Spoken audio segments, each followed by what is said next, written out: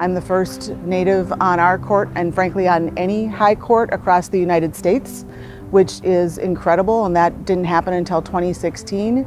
And I think that when you see influential um, Native leaders in positions of power, you start to see that influence in policy making, in the court process, and that has a positive impact on the community. Without that, then I feel like we're sort of remaining invisible.